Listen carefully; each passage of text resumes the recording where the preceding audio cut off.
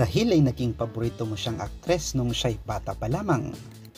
Si Serena Gale Del Rimple na ipinanganak noong September 7, 1990 ay isang Filipino-American actress na nagpasaya, nagpaluha at nagpakilig sa maraming mga pelikulang Pilipino na ating kinahiligan noong dekada 90. Marahil ay nagtataka kayo kung bakit hindi na natin siya nakikita ngayon sa telebisyon.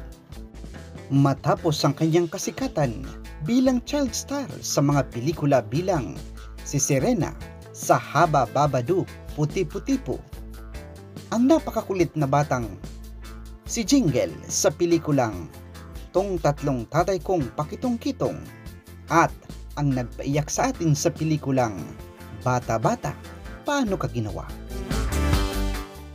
Madalas rin siyang maging laman ng mga kinaaliwan nating palabas sa hapon na Once Upon a Time. Dahil sa kanyang galing sa pag-arte ay nanalo siya ng anim mula sa pitong nominasyon bilang Most Popular Child Actress, Best Child Actress, at Best Supporting Actress. Nagsimula ang kanyang karera sa showbiz dahil sa sumikat na patalastas ng Jollibee na isa pa, isa pang Chicken Joy. May dalawang kapatid na babae si Serena. Sila ay sina Sarah at Samantha. Ang mga magulang ni Serena ay tubong Cebu. Limang taong gulang pa lamang noon si Serena nang pumanaw ang kanyang ama dahil sa heart attack at ang kanyang ina naman ay dahil sa pneumonia limang taon makalipas nang mawala ang kanyang ama.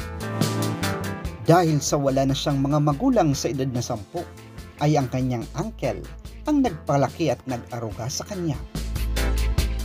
2004 nang tuluyang iniwan ni Serena ang showbiz industry. Bagaman, may mga pailang-ilang mga pelikula siyang kinabibilangan noong 2008 at 2010. Subalit ngayon, nasaan na kaya si Serena? Si Serena ay naninirahan na ngayon sa New Hampshire, USA at nagtatrabaho bilang Technical Program Manager sa isang financial software company.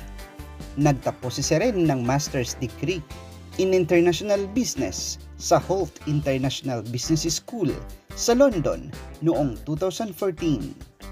Siya'y kasalukuyang engaged na sa kanyang non-showbiz boyfriend na si Thomas Bridley kwento ni Serena, na-meet niya umano si Thomas sa isang dating app.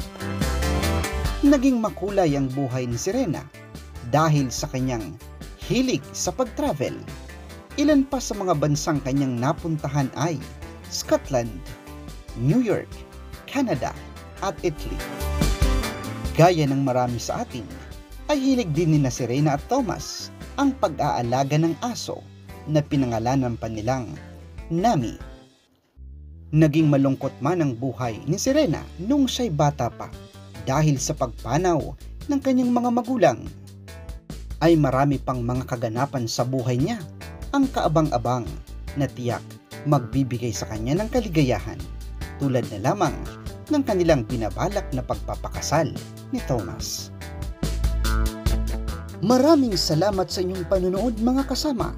Subaybayan ng bago naming playlist noon at ngayon. Kung mayroon kayong nais naming gawa ng video, ay i-comment lamang ito sa ibaba. Maraming maraming salamat sa inyong panonood, mga kasama.